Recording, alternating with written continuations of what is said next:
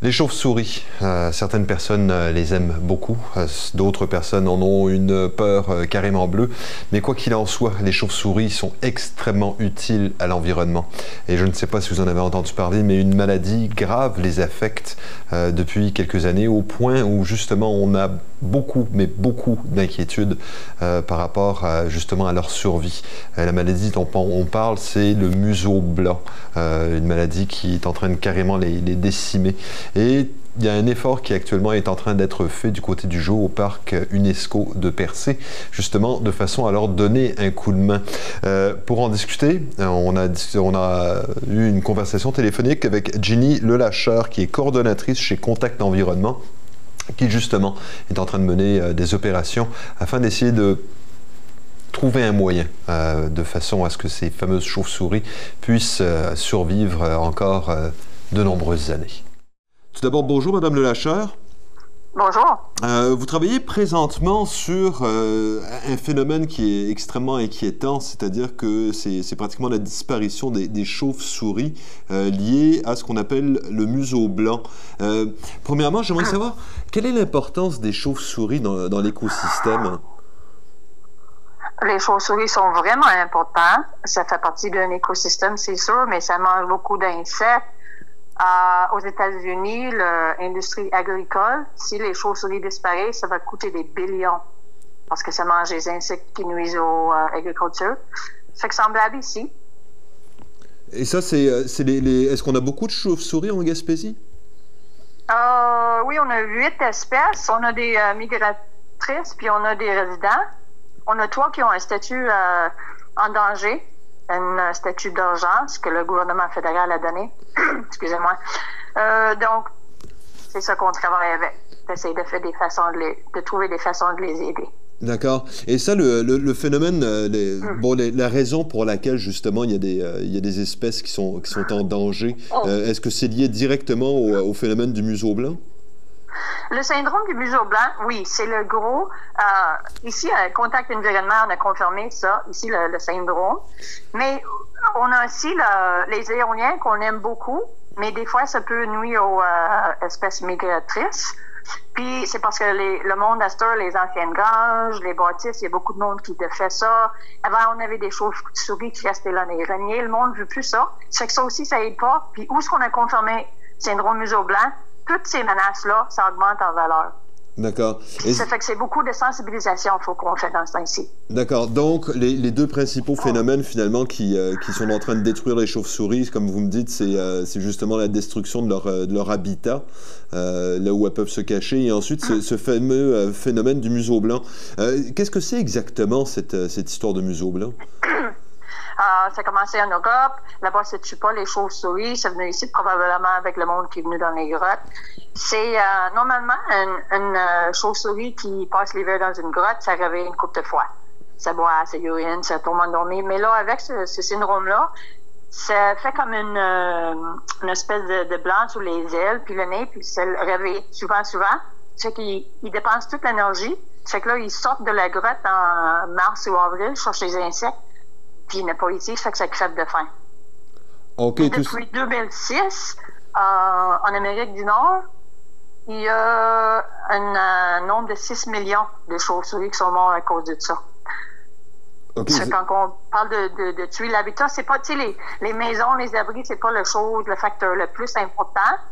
Mais d'un autre côté, on a checké comme les abris ici, puis on trouve que ça marche pas on veut avoir quelque chose que les, les mamans peuvent aller là-dedans puis avoir les bébés. Ça fait que c'est un autre projet qu'on a au travail. On va faire un condo pour les chauves-souris. Puis on va essayer de, les, les femelles. Et comment est-ce qu'on fait à ce moment-là pour euh, justement pour attirer? Là, présentement vous êtes en train de faire des relevés justement par rapport à, pour essayer de repérer quant à savoir s'il y a effectivement des chauves-souris? Ben oui, on sait que ça, on a confirmé les présences quand même avec les du monitoring, avec les activités euh, acoustique. C'est qu'on sait qu'il y en a. On a une maternité qu'on fait des décomptes pendant l'été, mais c'est dans une maison euh, personnelle. Là. Ça fait que là, on aimerait ça trouver une façon de mettre quelque chose que les chauves-souris vont aller dedans. Puis après ça, ça va être pas juste de, de laisser faire, mais de vraiment faire une suivi, de dire, tu les décompter.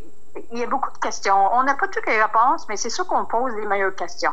qu'est-ce qu'ils ont besoin, comment on peut les aider? Et ça, présentement, vous êtes en train de travailler avec le Géoparc de Percé, c'est ça? Oui, super partenaire. Avec le grotte de Saint-Elvire aussi, avec beaucoup de monde. Je travaille avec Gaspeg, c'est une collaboration, la communauté de Micmac de Gaspeg.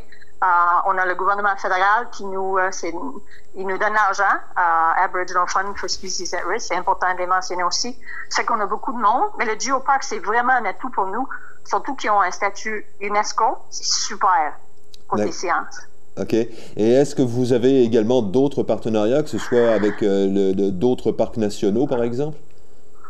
Euh, je travaille un peu avec, le, avec euh, mais moins qu'avec euh, comme à passé, on a fait euh, on a fait plus de, travail cet été. Puis là, on, a mis des, des sondes de température, ça fait deux semaines. Puis là, on va mettre d'autres équipements.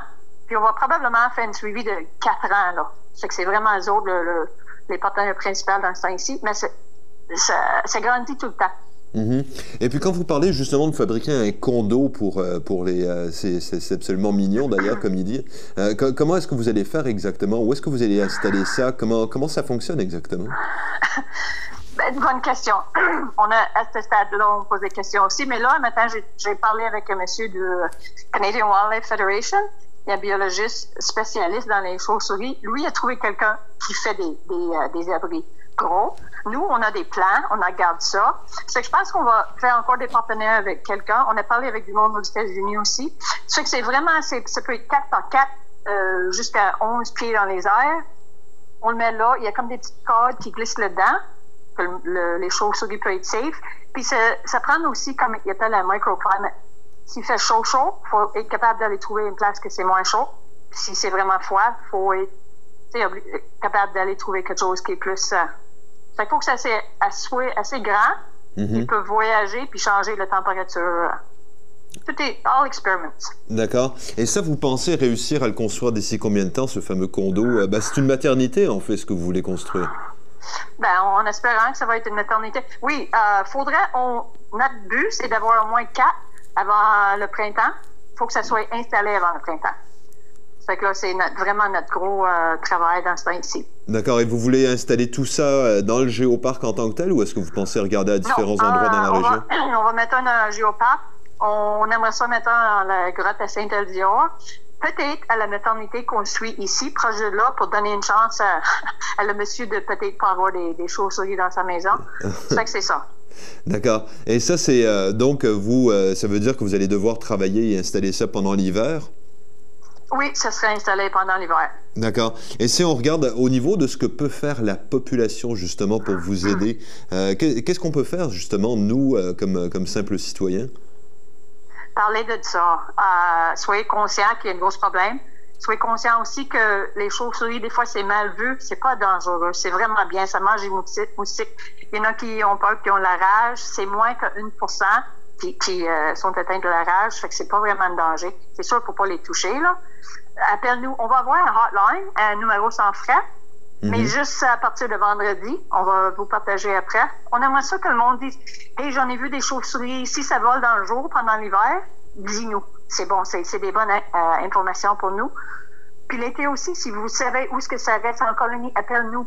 C'est vraiment, là, on ramasse les, les informations. Mhm. Et euh, les, endroits les plus susceptibles où en trouver, est-ce que c'est à peu près n'importe où en Gaspésie ou est-ce qu'il y, y, a des endroits qui sont vraiment plus propices, euh, que ce soit plus proche de la mer ou, euh, ou plus à l'intérieur des terres? c'est sûr qu'il faut que ça soit proche de l'eau, pas la mer nécessairement, mais l'eau douce, les marais, où il y a beaucoup d'insectes, souvent un champ avec une forêt à côté. les, les, anciennes structures comme les granges, les greniers, les, tu vas voir, parce que quand ça sort, ça va uriner. Fait que si tu vois une tache qui descend le, mur là, dans une ancienne grange, c'est une bonne indice peut-être que c'est ça. Fait qu'appelle-nous. On est toujours prêt pour euh, parler avec du monde. S'il y en a du monde avec des questions, avec le, numéro qu'on va avoir, ils sont bienvenus à appeler, parler. On veut juste que le monde soit conscient. On a ici, on veut les aider.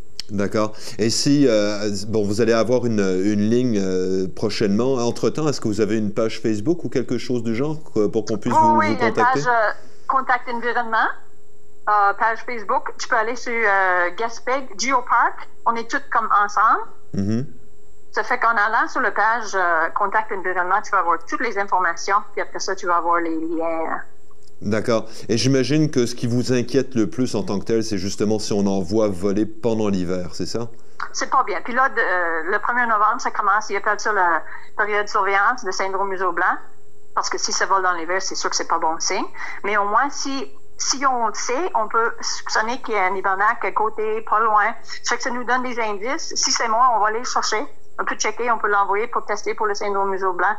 Puis c'est vraiment que le montage, il parce que des fois, on n'y pense même pas. C'est qu'on veut que la population pense à ça. D'accord. Et puis, ce qu'on suggère également, c'est aux gens d'éviter de détruire justement les granges euh, et les abris qui sont susceptibles de les recevoir. Ben, sais-tu que si tu as une grange puis ça te tente plus de l'avoir, c'est beau. Mais si tu, si tu penses qu'il y en a là-dedans, il y a des façons. Il y a des temps de l'année où est-ce que tu le fais, où est-ce que tu fais pas de dommages aux, aux mamans ou des jeunes. Puis tu peux mettre des choses à côté où ce qu'ils vont peut-être aller dedans. On peut faire ça comme faut. En place de juste détruire, puis ils s'en vont, puis ils n'ont pas de place à aller. Là.